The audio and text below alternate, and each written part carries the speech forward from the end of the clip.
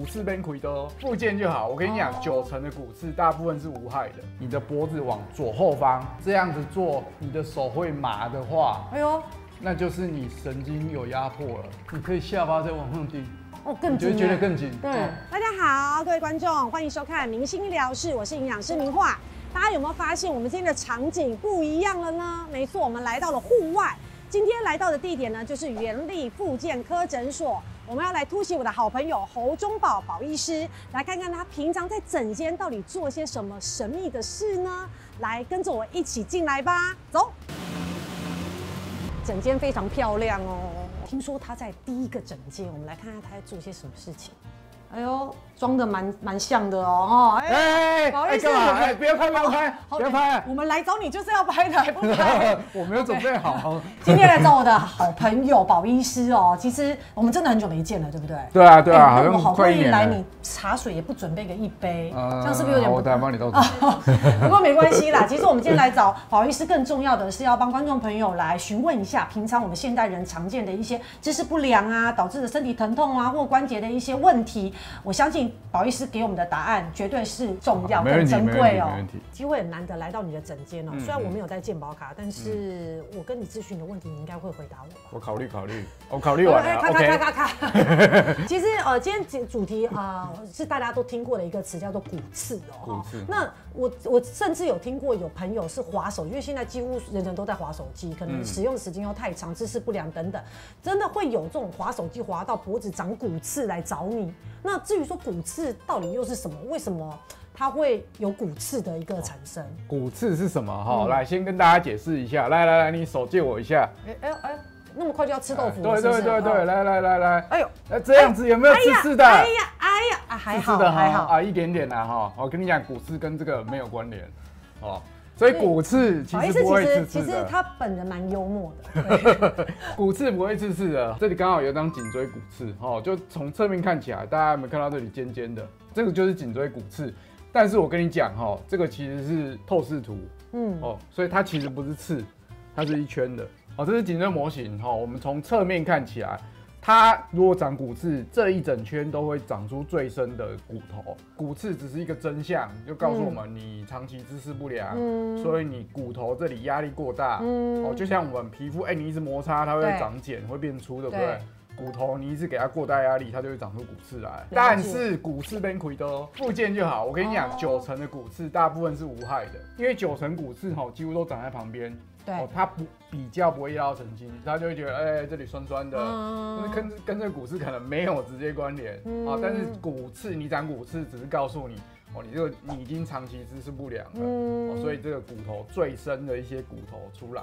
OK，所以你要做的其实是要改善姿势，改善工作环境。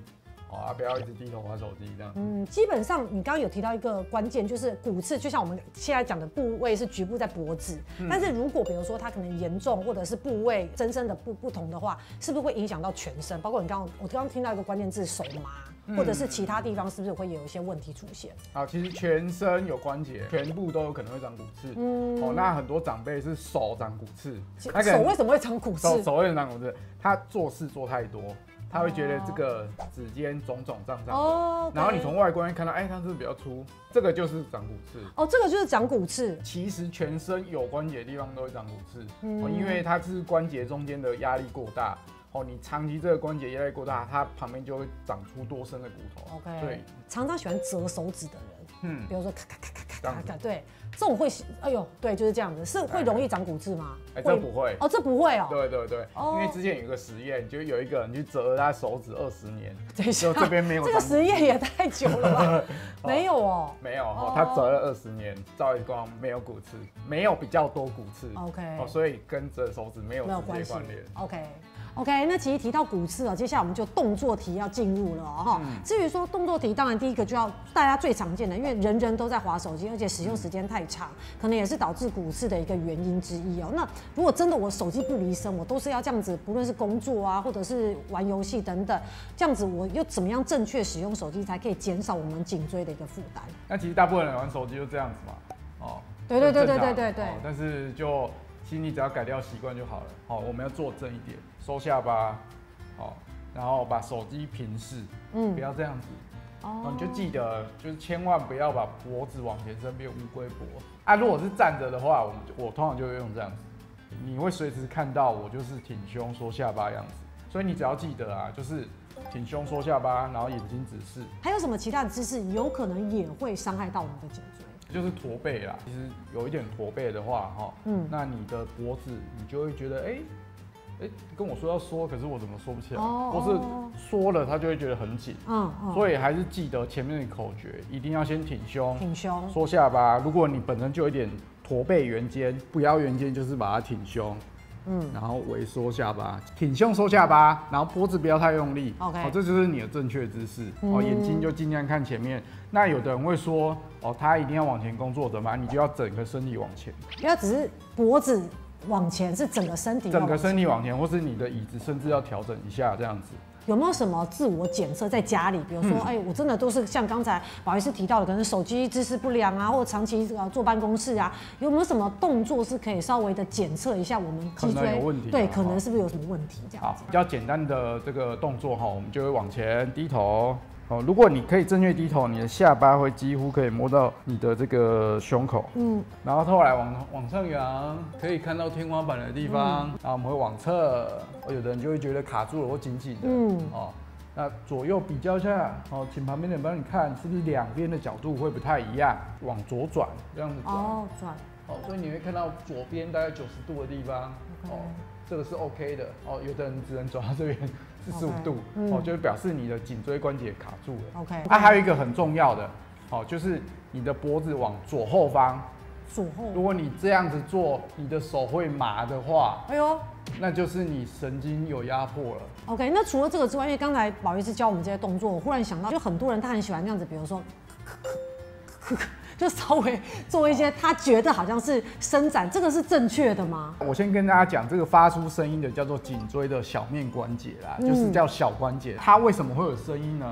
就是你平常已经姿势不良啊，你给那个关节过度压力，所以有声音是代表不好的。有声音通常就是那个关节已经不在。很好的位置，OK，已经压力太大，嗯，所以你会觉得我好像动一动，咔咔咔会比较舒服。咔完之后，你的关节压力会降低一点。比如说我们手指头折一下，你可能会觉得松一下，半小时，你可能觉得是关节松松的。脖子也是一样，你咔完会松半小时，但是如果你的姿势没有去调整，比如说你的肌肉还是很紧。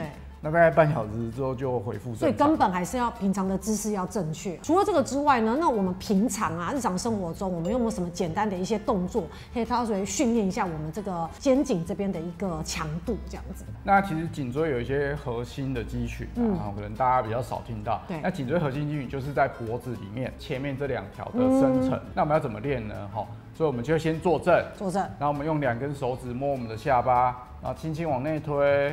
这时候你就会觉得你的脖子后面这里紧紧的，OK，大概维持这个动作五至十秒钟，然后再放开，做五到十次左右，你就可以训练到你颈椎核心肌群，顺便把你后面比较紧的地方拉一拉，这样子。那接下来的话就是训练脖子这个比较外侧的一些复合心肌群啊，就是比较外面这样子。我们可以用手掌顶住前额。哦，然后我们往前用力，那这时候你会觉得脖子前侧有点用力，大概也是维持个五到十秒左右。嗯，好，然后做五到十次左右这样子。侧边也是一样，好，就是手顶。侧边也要做。那右边也是一样，好，头跟手比力气，哦，你就会觉得，哎，这脖子这边紧紧的，嗯哦，这是正确的。接下来伸展，哈，就是可能有人觉得脖子后面紧紧的，然后你就这样子，双手放在头，然后有点往下压，你就会觉得后面。比较紧绷这样子，这样伸展大概三十秒至一分钟左右。嗯，那你就做一到三次。其实我就觉得就是伸展到比较不酸啦。那前侧其实也要伸展。那前侧怎么伸展？就是看天花板，你可以下巴再往上顶。哦，更紧。你就觉得更紧。对。你就会拉到这个这个叫颈阔肌的地方。很多人这个地方很紧，你就下巴筋往上顶。其实真的颈椎就是是一个。中枢位置，如果真的刚才宝医师提到一些动作没有缓解你的一些不适的话，真的就去找宝医师原力复健科诊所来做一个啊解决哦。OK，今天我们骨刺的这个议题呢，给大家做一个分享。那希望大家从我们的内容当中可以解决你日常生活中的一些疼痛感，让我们的生活品质提升。那当然，如果有任何问题的话，也欢迎大家留言给我们进行讨论哦。我们明星医疗室下次见，拜拜。